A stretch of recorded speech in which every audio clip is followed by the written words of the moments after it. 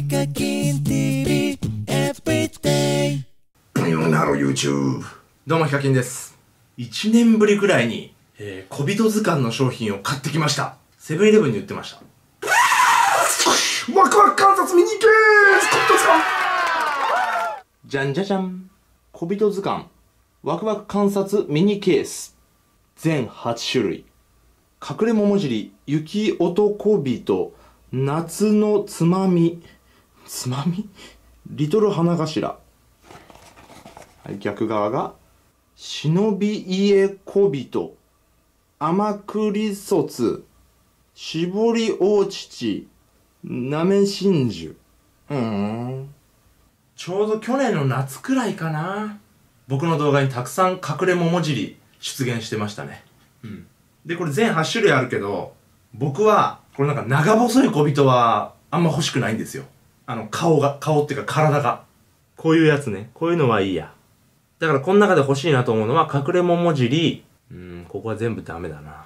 かろうじてこれはなんかトイレが面白いからいいとしてうんあとこの子もいいしこのなんかなめこ真珠？これもいいね。とりあえず丸いのが欲しい。まあ2個買ってきたからさすがにどっちか出るでしょ特に隠れ桃尻が欲しいです。じゃあまず1個開けていきます。ポス。ポス。じゃあ僕見ないんで先に皆さんにお見せします。3、2、1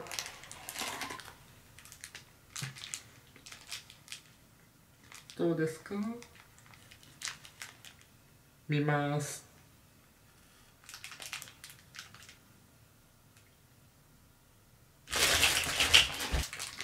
牛ちゃんじゃんこれ。これ絞り大乳ってやつですね ミニケースなんだもんねこれね。うん。小物入れみたいになってますね。ただこれ。ただこれ小さすぎてこれ何入れんのってぐらいちっちゃいけど。うん。はい1匹目。絞り大乳でございました。いやーこの顔はまた。いやー細い細い細い顔してるわ。それでは2つ目というかラスト1つ。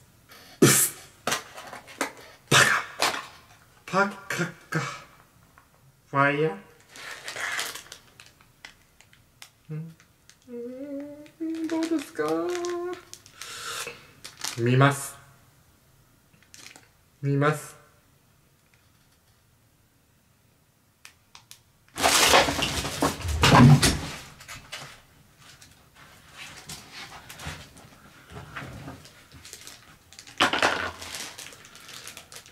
雪男人。いや、これすごい。一番欲しくないの二つ当たったよ。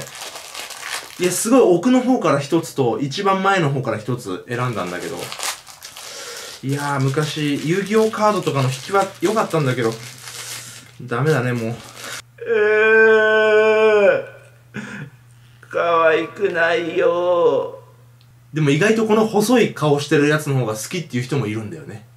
わからんなやっぱ僕丸い子桃尻とか丸いやつが好きですね。まあ機会があったら リベンジしたいと思います。いやー、がっくり。トゥダイズヒカキンズポイント78まあミニケースってことなんですけど、これは何を入れりゃいいのかなまあ、まあ置物だよね。フィギュアだよね、ほぼね。まあそれにしてもちょっと残念です。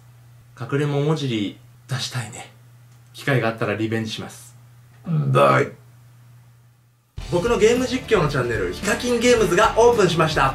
PC の方はこちらのアイコンをクリック。スマホの方は動画説明欄のリンクからぜひぜひチャンネル登録よろしくお願いします。それではヒカキンゲームズで待ってます。タラクタラクタラク。